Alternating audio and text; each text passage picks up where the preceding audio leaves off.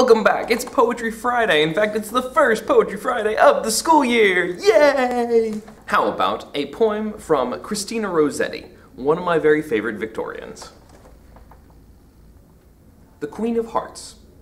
How comes it, Flora, that whenever we play cards together, you invariably, however the pack parts, still hold the Queen of Hearts?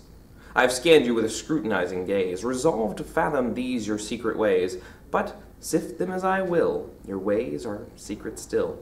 I cut and shuffle, shuffle, cut again, but all my cutting, shuffling proves in vain. Vain hope, vain forethought too, that queen still falls to you. I dropped her once, prepense, but ere the deal was dealt, your instinct seemed her loss to feel.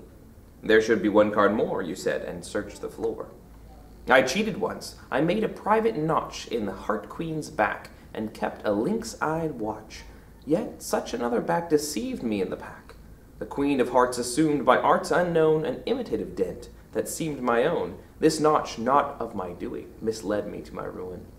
It baffles me to puzzle out the clue, which must be skill or craft or luck in you, unless, indeed, it be natural affinity. It's a fun little poem about playing cards with someone, and that person just always seems to win. But notice which card she always is able to find and pull out of the deck. It's always the Queen of Hearts. So maybe this is sort of a metaphor for uh, people who just seem to be lucky in love and other people who are a bit jealous of that. A lot of Christina Rossetti's poems are about love and about uh, desiring love or losing love, but also she can be very, very playful at times, as I think is true in this particular case. I hope you have a great start to the school year. I'm excited to be back. I'm excited to do more poetry with my students and with you on Poetry Friday. So until next time, you can click down here to subscribe, click over here to watch a previous uh, Poetry Friday, or click up here to watch the next Poetry Friday. And I'll see you next time.